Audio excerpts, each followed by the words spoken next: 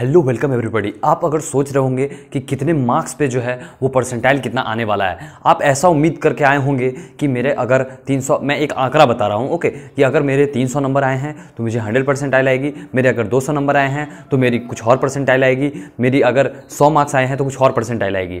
लेकिन मैं आपको ये जो परसेंटाइल वर्सेज जो मार्क्स का खेल है, एकदम बारीकी से बता दूँगा, ताकि आपको कोई दूसरे और जगह जाने की ज़रूरत नहीं पड़े। अगर आप पूरी बारीकी से इस वीडियो को समझ लोगे तो फिर आपको ये सारा खेल समझ में आ जाएगा और जो आप सोच रहे होगे कि मेरी इतनी मार्क्स आई है, मेरी परसेंटाइल क्या आई है, इसलिए आप बेचैनी जो है आपकी खत्म हो जाएगी। तो अगर इससे पहले मैं बोलना चाहूँगा कि अगर आपने चैनल को सब्सक्राइब नहीं किया है तो प्लीज़ सब्सक्राइब कर लें, क्योंकि मैं जो खुद हूँ, वो एक एन हूँ और मैंने इस प्रोसेस से बहुत मिस टू टाइम्स जो है वो मैं गुजर चुका हूँ। ओके तो मुझे एक्सपीरियंस हो चुका है और ये जो थर्ड टाइम है तो मुझे पता है कि आखिर ये कैसे नॉर्मलाइजेशन होता है, क्या जो है वो प्रोसेस है। ओके तो आपको जो काउंसलिंग है ओके आपकी प्रिपरेशन स्ट्रैटेजी से लेके मीन्स आपके एडमिशन तक। मैं आपको इस चैनल पे जो है वो गाइडेंस करते आऊँगा। सो प्लीज़ सब्सक्राइब कर ले चैनल को। अब देखिए बात करते हैं मेन आपकी कि जो आपकी अगर मार्क्स आई है कितना जो भी आप मार्क्स कैलकुलेट कर रहे हो या फिर आपकी जो एक्सपेक्टेशन है उस मार्क्स के हिसाब से क्या आपकी परसेंटाइल आती है? तो इसका सीधा सा जवाब है नहीं। ओके okay, आप सोच रहे होंगे हाँ लेकिन नहीं। ओके मीन्स देखिए अगर ऐसा होता है शिफ्ट में ये जो है वो टोटली नॉर्मलाइजेशन का खेल होता है कि कितनी परसेंटाइल आएगी। क्योंकि ये जो एग्जामिनेशन है ये एट शिफ्ट्स में हो कंडक्ट हो रही है, या फिर कम, कभी एट से ज़्यादा होती है, कभी एट से कम होती है। लेकिन around more than one shifts में जब भी आपकी एग्ज़ाम होती है तो फिर आपका ये जो है नॉर्मलाइजेशन होता है। और नॉर्मलाइजेशन का खेल ये है कि जितने भी कैंडिडेट्स अपियर हो रहे हैं उस एग्जामिनेशन में, उन सभी का ऑन एन एवरेज देखा जाता है कि कितने स्टूडेंट्स जो है वो हायर मार्किंग कर रहे हैं और कितने स्टूडेंट्स जो है वो लोअर मार्किंग कर रहे हैं। मैं आपको बताना चाहूँगा कि अगर आपको याद हो कि टू में जो है, वो फोर्टीन टॉपर्स थे ओके फोर्टीन को स्टूडेंट्स को जो है वो हंड्रेड परसेंट आई थी। तो ऐसा कैसे हो सकता है? बिल्कुल हो सकता है। देखिए अगर इवन किसी शिफ्ट में, अगर आपके 300 में 300 मार्क्स नहीं भी आए हैं फिर भी उस स्टूडेंट्स को अगर जिसका हाईएस्ट मार्क्स आया है उसे जो है वो 100 परसेंटाइल मिलेगा।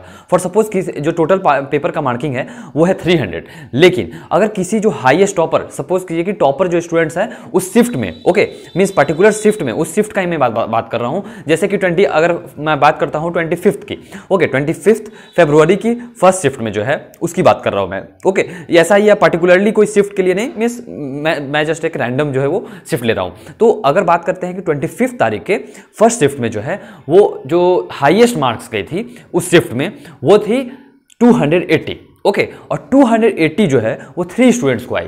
तो आपको पता है, वो तीनों स्टूडेंट्स जो है, उन्हें 100 परसेंटाइल दिया जाएगा। इनफैक्ट उनकी मार्क्स जो है, वो 100 percent three hundred out three hundred out of three hundred नहीं आई है। फिर भी उन्हें जो है, वो percentile 300 hundred means hundred percent ही दिया जाएगा। ऐसा ही खेल होता है। मीन्स ये जो नॉर्मलाइजेशन पर टोटली डिपेंड करता है तो आप सोच रहे होंगे कि मुझे मार्क्स कहीं भी बता, मैं डाल दूँ, कोई वेबसाइट मिल जाए, कोई सॉफ्टवेयर मिल जाए, कोई ऐप मिल जाए, कोई यूट्यूब का चैनल मिल जाए, और वो मैं बता दूँ अपनी मार्क्स और वो मुझे मेरा परसेंटाइल बता दे। ऐसा कोई भी जो है वो 100 परसेंट एक्यूरेट नहीं कर सकते हैं। इवन अगर आप एन वाले को भी अगर सीधा नंबर दे दोगे तो वो भी जज नहीं कर पाएँगे। क्योंकि पूरे एट शिफ्ट का एट शिफ्ट का या फिर इवन जितने भी शिफ्ट हुए हैं, उन सभी का एनालिसिस करना पड़ता है।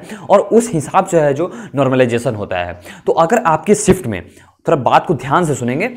अगर आपके शिफ्ट्स में जो क्वेश्चन का लेवल हार्ड था क्वेश्चन का लेवल जो है वो हार्ड था। मीन्स आपसे क्वेश्चन नहीं बन रहे थे या फिर सभी स्टूडेंट्स के लिए वो तो पेपर जो है इजी सेम ही होगा। तो अगर जो है पेपर का पैटर्न हार्ड था तो फिर अगर आपके कम मार्क्स भी आ रहे हैं, तब भी आपकी परसेंटाइल अच्छी आ सकती है। फॉर एग्ज़ाम्पल मैं बात करता हूँ टू की। टू की आपको एक बात बहुत ही आश्चर्य लगेगी कि टू में जब मैंने एग्ज़ाम्स दिया था एग्ज़ाम दिया था तो मेरी मार्क्स जो थी वो हंड्रेड थी। Okay hundred and four hundred नहीं, हंड्रेड एंड फोर थी। ओके, लेकिन उसमें मेरी परसेंटाइल जो आई थी, वो ninety four point two percentile आई थी। ओके, और वही जब एग्जामिनेशन जेई मेंस में मैंने अप्रैल में दिया तो अप्रैल में मेरी मार्क्स जो है वन हंड्रेड सेवेंटीन आई। ओके, लेकिन वन हंड्रेड सेवेंटीन मार्क्स आने के बावजूद भी मेरी परसेंटाइल 91 चली गई। तो आपको ये बात थोड़ा समझ के आया होगा, समझ में आया होगा कि मार्क्स से परसेंटाइल डायरेक्टली रिलेटेड नहीं है, थोड़ा जो है वो नॉर्मलाइजेशन का भी जो है वो खेल हो जाता है। हाँ लेकिन ये बात तो सही है कि अगर आपके मार्क्स बहुत कम है तो आप परसेंटाइल भी जो है वो ज़्यादा एक्सपेक्ट नहीं कर सकते हैं। जितना ज़्यादा नंबर होगा उतना ज़्यादा परसेंटाइल होगा।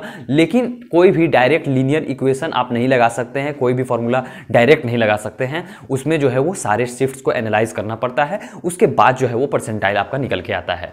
तो इसलिए आप सभी जो है वो चिंता ना करें। आपकी अगर आपके शिफ्ट में जो है वो पेपर हार्ड गई होगी तो आपके कम मार्क्स पे भी अच्छे परसेंटाइल आ सकती है। और अगर आपके पेपर में जो है वो पेपर का लेवल बहुत ही ईजी आया होगा तो ज़्यादा मार्क्स पे भी कम परसेंटाइल आ, आ सकती है। जैसा कि मेरे साथ हुआ इवन मेरी 104 मार्क्स आए थे, तब भी मेरी जो परसेंटाइल पहले बार में जो थी, वो 92.94.2 परसेंटाइल गई थी। और सेकेंड टाइम में जो मैंने अटेम्प्ट दिया तो उसमें जो है वो परसेंटाइल मेरी मार्क्स मेरी 170 आई थी।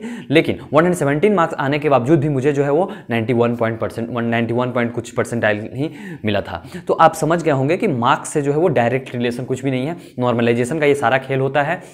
और नॉर्मलाइजेशन के जो फॉर्मूले हैं, वो आपको जेई मेंस के वेबसाइट पर आराम से निकल जाएँगे। लेकिन आपको टेंशन लेने की ज़रूरत नहीं है। आप सभी जो है वो अपना प्रिपरेशन पे ध्यान दें।